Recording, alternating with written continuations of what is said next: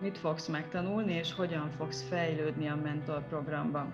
A fejlődés az két irányú lehet. Lehet egyszer horizontális, és lehet egyszer vertikális.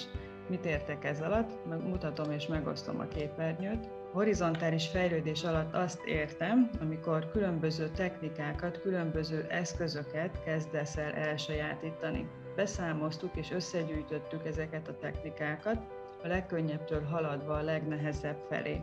Az első a grafittal való rajzolás, Utána jön az inverz rajzolás és háromszín technika. Ennek a technikának az a különlegessége, hogy még mindig csak tónusokat kell megfigyelni, ugyanúgy, mint a grafit rajzolásnál, de a végeredmény az olyan, mintha már színes lenne a kép, és ez egy nagyon jó átmenetet képez a fekete-fehér és a színes képek között. Aztán ezután jöhetnek a színes ceruzás rajzok, porpasztel, akrilfestés, olajfestés, akvarelfestés és a vegyes technikák.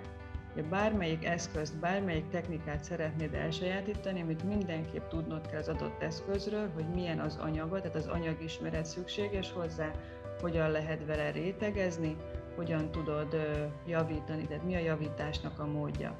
Ugye ezt a nyolc technikát, ezt mind-mind megtalálod a mentor programunkba, és bármelyik technika érdekel, el tudod sajátítani. Hiszen a fejlődés az lehet másrészt vertikális is. Mit értek ez alatt? Amikor elkezd az ember rajzolni és festeni, akkor célszerű másolással kezdeni.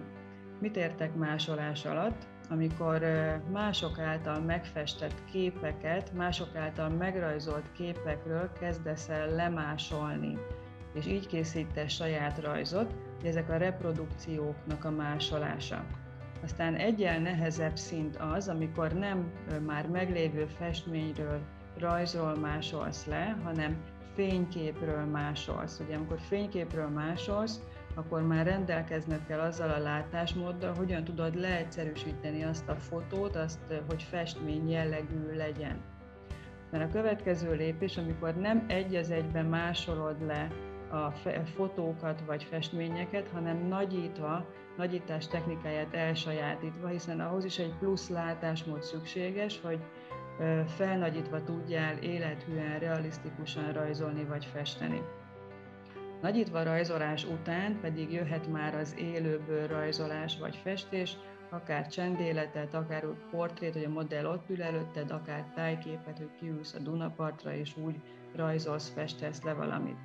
Aztán az élőből rajzolás után már jöhetnek az egyéni stílusok, szerintem mindenki kicsit belefesti saját magát, belerajzolja saját magát az adott képbe, de vannak különböző stílusok, kubista stílus, kollás technika, amivel még plusz fel lehet dobni az eddig elkészített rajzaidat, és lehet ötvözni a realisztikus festést különböző egyéni stílusokkal, így el tudod dönteni azt, hogy te személyiségednek, neked melyik az, ami leginkább tetszik. És aztán a legvége az, amikor a karikatúra rajzolás, hiszen itt már, itt már nagyon-nagyon tudni kell rajzolni, nagyon tudni kell festeni ahhoz, hogy, hogy felismerhetően tudjál valakit lerajzolni, lefesteni karikatúra szempontjából.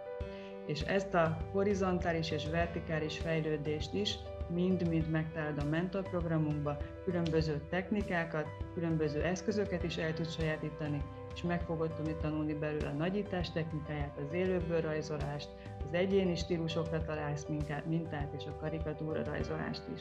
Mi várunk a mentor programba szeretettel!